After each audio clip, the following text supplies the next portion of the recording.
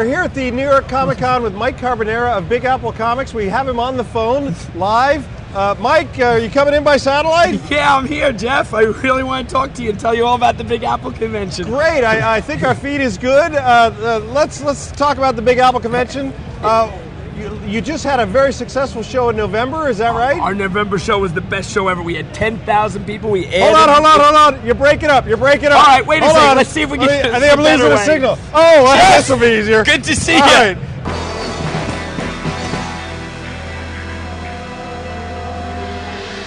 So you guys have a history of getting some of the some of the big names, big name uh, entertainers, big name artists, and you got a couple shows coming up. Yeah, uh, we've been doing Big Apple for literally over 10 years now. I mean, I've, I've been going to conventions since 1969, since I was a kid, the old Phil Seuling comic shows, and that's what I remembered. right. And we actually, and now are doing the shows on, the, we added the 18th floor, which is where Phil used to run his shows, all his second Sundays, the monthly comic book marketplace, and, And this you know, all takes place at the Penn Plaza Pavilion. Yes. right, which is Right part of the Hotel street- Pennsylvania. Hotel Pennsylvania, right across the street from Madison Square Garden. So MSG. easy to get to from Penn Station. from anywhere. Wait, a friend of mine once said, "All of Long Island is our Fife Dome." Right?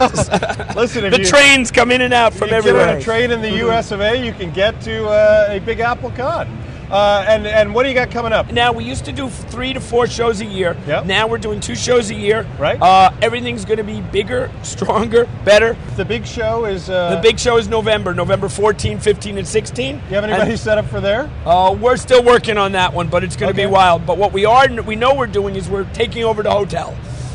Great. We're That's taking great. over Manhattan. We're turning into the Baxter Building. And for people to get information about the show and uh, and what's going to just oh look they're they're There handing you go. money. What, these advance tickets are now on sale. Thank you very much. Where does one go to get advance tickets and, and give you that money? Holy cow!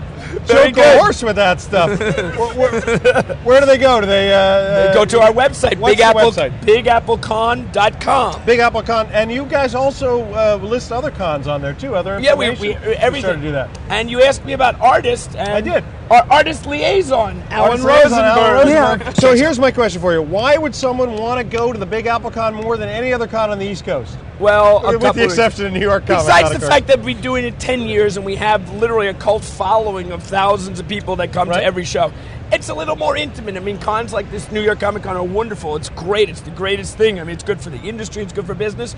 Big Apple, we do it in a hotel. We do it in the India space. We have hundreds and hundreds of artist tables together. And I'm a little bit laissez-faire about things. Okay, here's your table, guys. Start drawing. Literally, that's what they do. People walk up to them. You know, the lines are there, but they're right next to them and it, it's just a very one-on-one thing. You know, dealers, we have uh, over 100 dealers tables, but it's enough where you go to the convention, you can literally see the whole show in a day or two. Right. So, you know, you, you really feel a part of it. So, Big Apple is fun. I mean, it's it's, it's based on the conventions, like I said, that I always would see when I was a kid in the 70s. I know? hear you. Well, well, Allan, anything to add? Yeah, I think you'll the difference you'll find is uh, these bigger shows.